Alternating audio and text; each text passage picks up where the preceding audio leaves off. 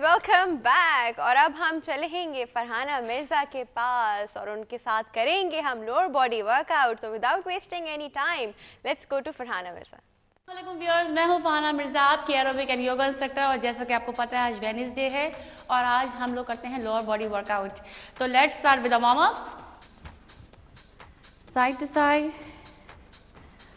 move your arms cross your arms up and down आपने cross करना है and पीछे की तरफ़ हाथ लेके जाना है वही अप एंड डाउन करेंगे cross step step step step.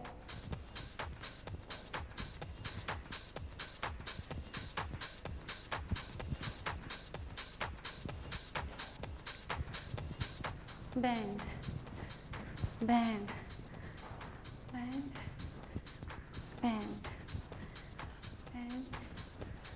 bend, bend, and flex, side to side. One, two, three, four, five, six, seven, eight, eight, seven, six, five, four, three, two, one. Now inhale.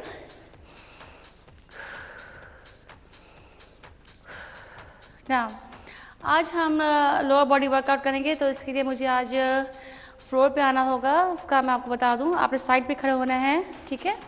Side पे आप खड़े होंगे back straight होगी chest और चमीन hips in feet together and आप अब करेंगे।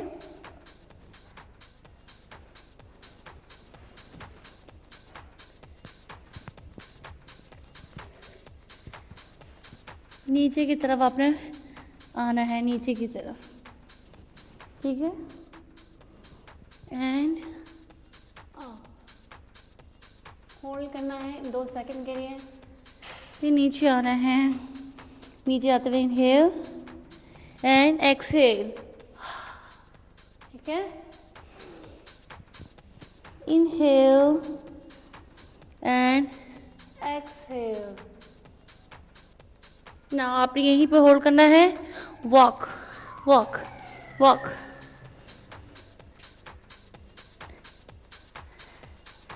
Hold फिर वापस आप पीछे जाएँगे। And up and down stretch करेंगे। नाउ पीछे की तरफ़ स्ट्रेच करेंगे। आप देख रहे होंगे कि मेरे एक नी बैंड है। और एक मेरा पैर जो है वो टो पर है तो स्ट्रेच करेंगे एंड स्ट्रेच करेंगे। ना आप नी पे आ जाएँगे। आपने सामने की तरफ़ हाथ रखना है। आप नोट कर रहे होंगे कि इस वक्त जो है मेरा आ, जो शोल्डर मेरा बैक मेरी जो लेग है वो तीनों जो है वो एक ही लेवल पर हैं। आपने होल्ड करना है। One two three four five six seven eight nine 10, 11, 12, 13, 14, 15 और इसी तरह से आपने साइड चेंज करना है। One two three four five six seven eight nine ten eleven twelve thirteen fourteen and fifteen आपने क्या करना है? लेफ़्ट लेग को बाहर निकालना है तो लेफ़्ट आर्म को निकालेंगे बाहर से ही? होल्ड करेंगे one two three four five six seven eight nine ten eleven twelve thirteen fourteen fifteen इसी तरह से आपने साइड चेंज करनी है लेफ़्ट नी आपकी बेंड होगी और सीधा हाथ आप बाहर निकालेंगे one two three four five six seven eight nine ten eleven twelve thirteen fourteen fifteen and relax ना अब आपने जब समझते हैं कि अब अब ये इतना आपने स्टेमिना आ चुका है कि आप बैलेंस कर सकें तो आप ये नेक्स्ट स्टेप पर जाएँगे। पहली बात तो ये बता दूँ कि शुरू में इसको बैलेंस करना बहुत मुश्किल होता है। अगर आप समझते हैं कि आपसे नहीं हो रहा तो आपने क्या करना है? एक ही चीज़ को आपने फोकस करना है। फॉर एग्ज़ाम्पल अगर आप समझते हैं कि आपसे दोनों चीज़ें एक साथ नहीं उठ रही हैं तो आपने क्या करना है? सिर्फ़ लेग को बाहर निकालना है। सही है? आपने इस तरह से होल्ड करना है। One two three four five six seven eight nine ten और इसी तरह से आपने साइड चेंज करनी है, ठीक है? उसी तरह से आपने, इस तरह से आपने होल्ड करना है और फिर आपने इस तरीके से आपने होल्ड करना है। यानी आपने दोनों पार्ट्स पे यानी कि अपने आर्म्स को और अपने लेग्स को वन बाय वन करके बैलेंस करना है। क्योंकि शुरू में जो है वो लोगों को फ्लोर पे प्लाटी करते हुए काफ़ी प्रॉब्लम होती है। ना इससे आगे का लेवल में आपने क्या करना है? जब आप समझ समझ आ, समझते हैं कि आप में इतना स्टेमिना है कि आप बैलेंस कर सकते हैं तो फिर आपने ऊपर की तरफ़ दोनों को मूव करना है। Two three four five six seven eight nine ten eleven twelve thirteen fourteen fifteen and side change इसी तरीके से one two three four five six seven eight nine ten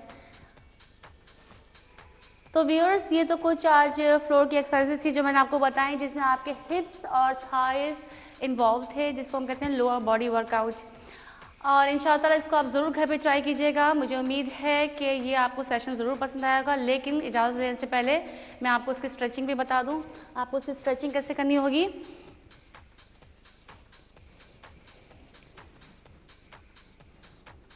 Relax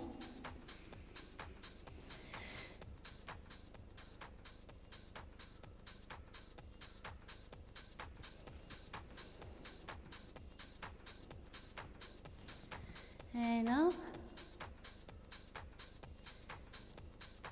stretch.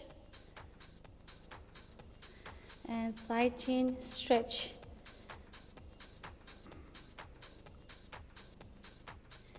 Now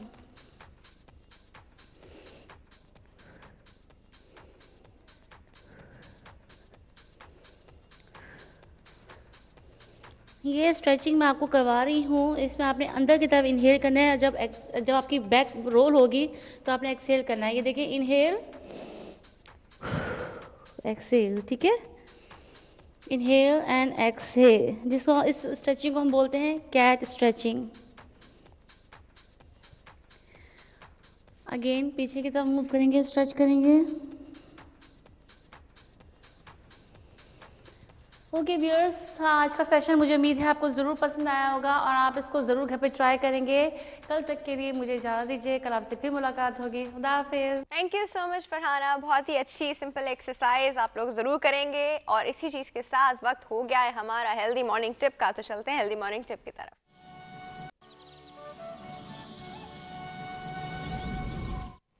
जी healthy morning tip है आज healthy lunch for diabetic patients कल हम लोगों ने ब्रेकफास्ट की बात की थी। लंच के बाद मैं सिर्फ़ ये बताऊँगी कि कोई बहुत ही हवा लंच नहीं होता, कोई बहुत ही डिफरेंट लंच नहीं होता। डायबिटिक पेशेंट का लंच सिर्फ़ ये होता है कि हम उसको लो कार्ब रखते हैं। लंच से पहले आपकी ब्लड शुगर लेवल चेक होता है और लंच के दो घंटे बाद आपका ब्लड शुगर लेवल चेक होता है और इसी तरह चार्टिंग होती है डायबिटिक पेशेंट की।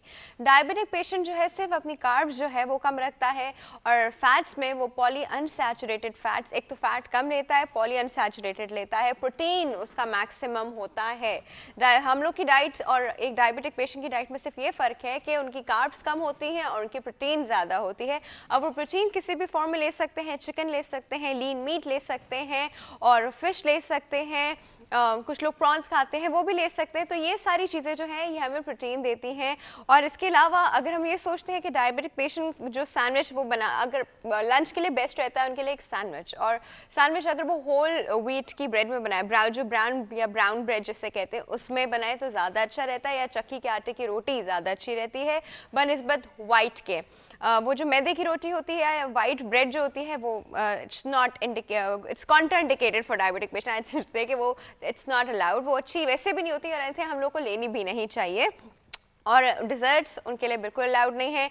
डीप फ्राइड फ़ूड उनके लिए बिल्कुल अलाउड नहीं है, जिसमें कोई भी डीप फ्राइड चीज़ हो, कोई भी ब्रोस्ट हो फ्रेंच फ्राइज़ हो, वो जो हम लोग के खाने होते हैं, जो डीप फ्राइड होते हैं, वो डायबिटिक लंच में अलाउड नहीं है। वेजिटेबल सूप आराम से पी सकते हैं, उसके साथ क्रैकर्स भी लिए जा सकते हैं और आप उसके साथ कोई भी फ्रूट जिन लोगों को मीठा खाने की आदत है सिंस वो मीठा नहीं खा सकते हैं तो वो उसकी जगह कोई फ्रूट को कर लेते हैं। वो फ्रूट को भी है या फिर आपके पास दही भी आप दही भी ले सकते हैं at the end of the entire lunch और um, अगर आप स्टार्ट करेंगे विथ सैलड सैलड में आपके रॉ वेजिटेबल्स होंगे लो फैट की ड्रेसिंग होगी सैलड ड्रेसिंग तो ये डायबिटिक पेशेंट आराम से ले सकते हैं। कोई ऐसी कॉन्ट्राडिकेशन नहीं कि डायबिटिक पेशेंट जो है वो सैलड ड्रेसिंग नहीं ले सकते लो फैट ड्रेसिंग ले सकते हैं। सैंडविच मैंने आपको बता ही दिया कि दो स्लाइसिस अगर आपके पास हों होल बीट ब्रेड के तो वो आप आराम से ले सकते हैं। और होमोस एक चीज़ आती है, वो डायबिटिक पेशेंट्स के लिए बहुत अच्छी। अरबिक है actually it's it's Arabic food लेकिन वो डायबिटिक पेशेंट्स के लिए बहुत अच्छी है। सूप में आपको पता है, आप चिकन नूडल का सूप ले सकते हैं, आप टोमेटो का सूप ले सकते हैं क्रीम ऑफ़ टमाटो नहीं, खाली टोमेटो का सूप वो ले सकते हैं और चिकन एंड राइस का सूप ले सकते हैं। और इनफैक्ट uh, पास्ता जो हमारे पास आता है उसमें भी होल व्हीट का जो पास्ता आता है वो भी डायबिटिक पेशेंट आराम से ले सकते हैं। 500 से ऊपर इनकी कैलोरीज नहीं जानी चाहिए। तो बहुत ही आराम से इजी सा ब्रेकफास्ट ब्रेकफास्ट के लंच है और डायबिटिक पेशेंट्स का लंच आराम से घर में तैयार हो सकता है। इसी बात पे लेते हैं एक छोटा सा ब्रेक ब्रेक के बाद हम वापस आएँगे। एस्ट्रोलॉजी सेगमेंट के साथ कहीं मज़ा आएगा। Will be right back